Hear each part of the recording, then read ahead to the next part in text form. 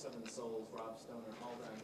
I was wondering, do you have any stories, as I, as I recall, that was kind of a breakthrough moment in your career? Well, first of all, let me say I don't feel I've had a career. You know, I feel like careers are for lawyers and people like that. Like, I just do what I do. You know, I'm going to play guitar, whether people pay me or not. That's what I do. That's I like to play guitar. That's it. You know, I can take almost anything. you know, if, if I if I can play a little bit and get you know.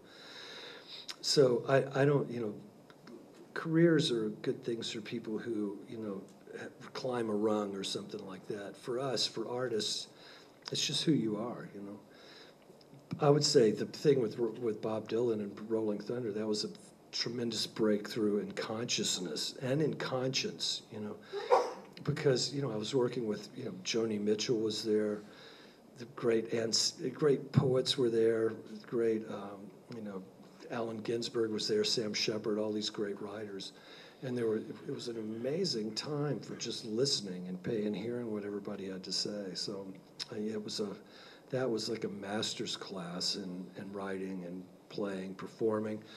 Uh, even jacques levy who directed the rolling thunder show you know taught me a lot about how you pace a show how how you tell a story. There were multiple acts so there so a lot of the challenge of that was to tell a story through these different acts and their songs so that by the time you got to the end of the show, the audience had, had heard something.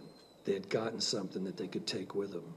Here's the other. Here's the most important thing, I think, of all, is there, there are two ways to look at artists, or two ways to view artists. One is there are artists where the arrows all point out this way, and then there are artists where the arrows all point this way like Madonna is an example of a, the artist who all the arrows point toward her. She could suck the air out of this room in two seconds, you know. Nobody'd be able to breathe. It would just be like, what do you want, your majesty, you know. then there, then there, what can I do for you? you know? Then there are artists like, you know, maybe U2 or, you know, or I'll tell you, I think Arcade Fire is a really brilliant band who all the, all the arrows point out toward the audience, and we get something from them. They're the they're the artists that you have to, that they want something from you, and they're the artists artists that want to give something to you. The, I'm only interested in the artists that want to give something to us. And that's you were talking about having the poets and musicians and everything. Is it seems like there's almost more sort of segregation. Everyone sort of stays in their own lane, mm-hmm. where there used to be a lot more cross pollination, and there's a little bit less of that now because everyone's right. so focused on you know I'm going to make it as a musician, and they don't yeah. think they could draw inspiration from maybe an author or a poet or right, yeah. an art, a painter, or you know something like that. Yeah, because because at the end, again, it's all storytelling. The right. You know, it's all in the beginning. You know, it's it started in Greece. Uh, this is what we call media now, and in the beginning uh, the, at the Acropolis or wherever it was, a guy would get up and tell a story, and that was called a monologue.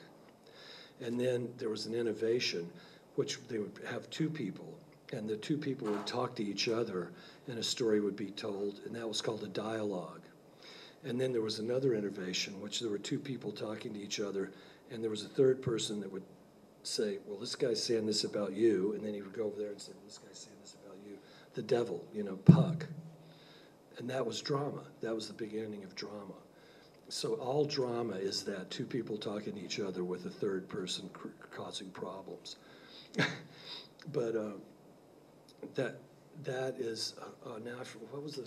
Well, I was just saying, there's not as much cross pollination. Oh yeah. yeah. Well, so so, but any but at any rate, that is all of it. That's it. That's storytelling. Right.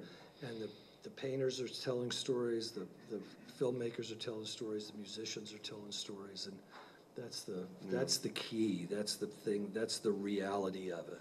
Right. I mean, I guess we can talk about the, the celebrity culture too, this, yeah. which is part of that American Idol. Like, you're going to be able, you know, American Idol. I, have never watched it, but my impre- I, have never watched, I don't watch television, but my impression of it is from what I've from hearing everything. It's kind of hard to get away from. yeah, is that is that it's people imitating other people trying to get famous. More know? or less. Yeah. Like Kim Kardashian got famous because she was friends with Paris Hilton. Like, where does where does that happen?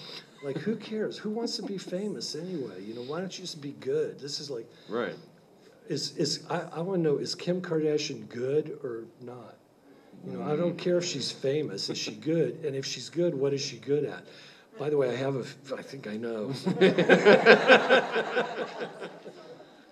Um, but yeah, I mean, that's, that's another ingredient, I think, is that people just want the, the spotlight and they don't really care. Yeah, they don't care if they're doing anything while they're in it. I'm here. Yeah. you know, Love me. Well, you know, that's, that's why we have iPhones and I, you know, I, you know, it's all like, I, you know, you know, MobileMe, it's all like identity. It's people looking for identity and what we're getting is this pathetic sort of identity, I identity, you know? there you- uh, yes? Wondering what your opinion is of releases of albums that were originally recorded in a digital format on vinyl? Do you think that improves the sound or degrades it? I do think it improves the sound quite a bit because you're adding, you're adding harmonics back in. Because the process of converting, especially, I mean, that's, this is one of the things we do with code. We've, we've researched all this so deeply, the harmonic structure and the overtone structure of music and the, and a, and a harmonic structure of a piece you're using. But even just running a digital signal through an analog piece of equipment will begin to add harmonics back in because the electronic equipment itself adds harmonics, right? Like feedback, you know, like you play guitar through an amp and you, you start getting some feedback and then another high tone starts, you know. Well, those things start, you can start adding those back in and, and you can start creating a much more resonant, complex signal for people and, and, you know, experience for people. So no, I don't think it does damage. It can, you know, any transfer can be botched by a human being, you know, but the, but the carefully done transfer from digital to analog is, is always a good idea. It's a more stable, more, uh, it's a more uh, uh, robust medium. Mm. Yep, Yes? Um, Relating to the last question, um, if you're recording an album digitally and with plans to release it on vinyl, would you need to mix it, sort of thinking about that, and master it?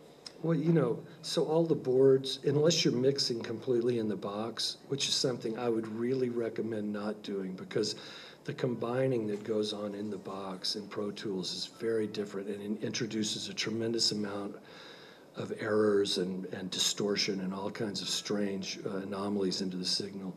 So, you know, I would just say use as much Class A electronics is the strongest signal paths, the biggest wires, you know, use all the best equipment you can around the digital. Yeah, all of that stuff, because then you can, you can um, humanize it, you know. I, I mean, I'll, I'm looking forward to the day when we're past digital storage of music. I, I think it's a short term. I think it's been a diversion. It's cheaper, it's, it's got a lot of advantages, and you know, it's been used. Music and pornography have been used to set up a system that, that people were hoping would uh, save the world, you know, it remains to be seen. I I'm doubtful at this point. I feel the internet, as we are using it today, has failed. It's certainly failed the artists. It's failed to provide the artists either good sounding versions of what they do or money, you know. Uh, Lady Gaga, two years ago, year before last, there was one video that she made that she had 200 million hits on, one video on YouTube, and from all of her all of her internet income was ten thousand dollars, and that's Lady Gaga. How are you gonna get by, man? You know, as a guitar player, with that kind of deal, it's a bad deal. I think it's fascinating, most fascinating what you said about the uh, telepresence and property, because that would imply that that personal right would then be entirely controlled on the cloud by the creator. Right. And so at that point, the polarity is completely shifted. Right. Yeah. And so the artist has to be originally recorded, I suppose. I think, s- I think, I think, thing, there's a bright future for artists. Listen, the only thing we make in the United States that we sell the rest of the world anymore are arms and music, you know, movies, media. So we have, you know, music, i- recorded music is the United States as wine is to France, you know. It's something that we do, that we developed, that, that is, is unique to us. You know, we have regions, you know, France has Champagne, we have the Mississippi Delta, It's a, it's, it's, it's a, we have a national treasure and it's our greatest asset. And we're, we're just throwing it away right now. We're, we've, re- we, we're taking our greatest asset, we're putting out to the world for free. We're not, we're not enforcing any kind of standards or, uh, you know, standards for quality or for, uh, quantity, you know, for, uh, getting paid for it. Well, in, in that golden moment that Jack referred to, that explosion of poetry and conscious, that, that you mentioned, is there any room that, uh, for that, or you see in the future as well? Uh, you know, like the news of the day, uh, artists, uh, you know, are present with you. Uh, is there, is there anything in terms of arts and education that you're doing to foster that now? Because here is that, you know, that future, these young people, Yeah. Well, yeah, I mean, we're, that, yes, that's, I spend a lot of my time actually on this, on, on, uh, arts, education, yeah. Yeah, you know, there's the Texas Music Project, do you know about that? That's putting instruments and, and, so, yeah, we're working with the Texas Music Project too. You know, Plato said that an education stands on three legs, the edu, uh, athle- uh, academics, athletics, and the arts. And he said without any, th- one of those three legs, the, uh, the education would fall over, you know? So we've done that in this country. We've affected, I mean, y'all are in our arts program at Southwest, right? So- great, yeah. That's what we, were, quite frankly, hoping to invite you to, you know. Oh, I'll come. I'll come help, yeah. It's a, it's a new, in effect, magnet program for it's uh, hosted at Southwest is the uh, music uh, magnet school. Yeah, I'd be happy to pitch in, man. It's such a pleasure, you know, you know, having you here, in effect. Now, you are sixty-three, I can refer you as the grandfather of Fort Worth music. We'll get the T-shirt made up. Now a place to play. Willie Nelson is surely the grandfather. Yeah, man, happy to Oh. do it.